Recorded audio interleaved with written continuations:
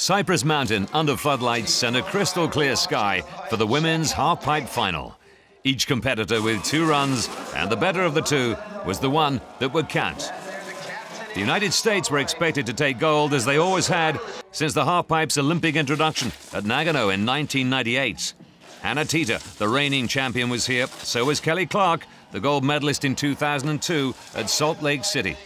She was only seventh best on the first run, one of several to suffer a fall in a final where few competitors would match their qualifying score. So, after the singing, 26 year old Kelly Clark kicking into the pipe for the second time and looking for her true form. She was known for pushing the boundaries in the halfpipe, and her jumps were huge, higher than anyone else in the competition. And she was pulling her tricks out of the bag.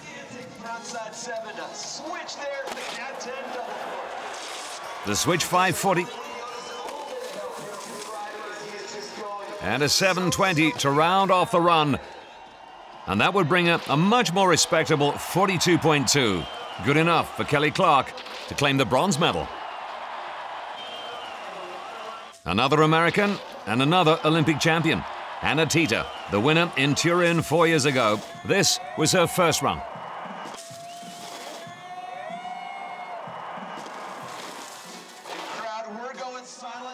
A nice start with an Indy air. Following that with a big jump, a backside 900, two and a half rotations. Then a 540 from the 23 year old. Hannah brushing aside suggestions that being the champion put her under extra pressure. She said, It's whoever's on on the day. And that was the best performance of all in run number one. But she wouldn't improve her score on the second run, and her Olympic title was about to disappear. This time, it would be silver for Hannah Teter. And so, in front of three and a half thousand spectators, it was an Australian who would steal the limelight. Torah Bright. She'd scored only 5.9 in her opening run and was lying last.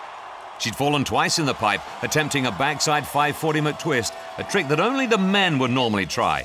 But she put that run behind her and went for it once again.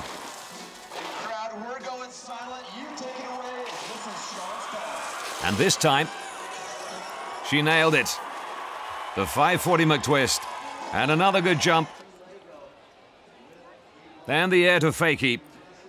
And to finish it off, a 720. And Torah Bright had clinched it, the surprise champion. She was lying only eighth in the World Cup Series, but now Torah Bright had scored 45 dead to end the American stranglehold on the halfpipe, as she gave Australia their first ever Olympic medal in snowboarding. She even got a telephone call of congratulation from the Australian Prime Minister.